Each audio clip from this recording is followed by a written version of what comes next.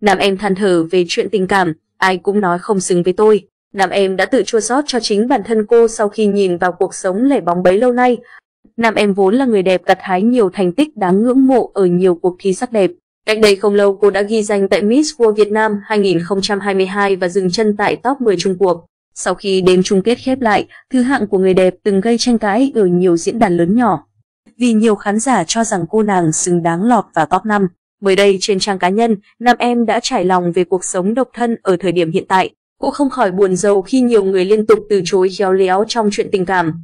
Cụ thể người đẹp chia sẻ, ai cũng nói không xứng với tôi. Cái cuối cùng tôi ở với con mèo, bộ nghĩ nhỉ. Câu nói này của nam em khiến nhiều người không khỏi xót xa, mạnh mẽ lên cô bé, chuyện gì rồi cũng sẽ tới thôi. Hãy thật bản lĩnh nha bé, cô thương nam em nhiều lắm. Nam em ơi chị mong em tìm được bến bờ hạnh phúc, một cô gái có trái tim nhân hậu. Bé cần một người thận bao dung và hiểu bé, không nên chọn đại. Cách đây vài năm về trước, nam em từng vướng vào ồn ào tình ái với một đàn anh nổi tiếng. Sự việc này đã ảnh hưởng nặng nề đến danh tiếng cùng hình tượng của cô trong lòng đông đảo khán giả. Trải qua biến cố trong chuyện tình cảm, người đẹp trở nên khép kín hơn bao giờ hết. Cô hạn chế chia sẻ về đời tư và chỉ tập trung vào sự nghiệp cá nhân.